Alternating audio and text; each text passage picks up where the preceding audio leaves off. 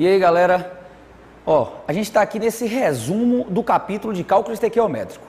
Então, o que é importante a gente saber de cálculo estequiométrico? São regras. Eu criei quatro regras que, se você seguir essas quatro regras, você não vai errar as questões. Então, o que, em que consiste essas quatro regras? A primeira coisa que você precisa fazer em uma questão é montar a equação e realizar o balanceamento.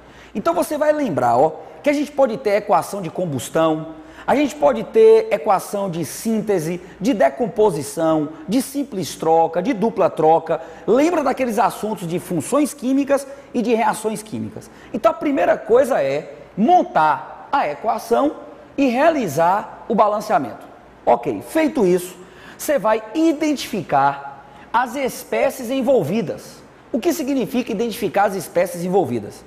Vamos supor que o exemplo da questão seja a combustão do metano e ele pergunta qual a quantidade de gás carbônico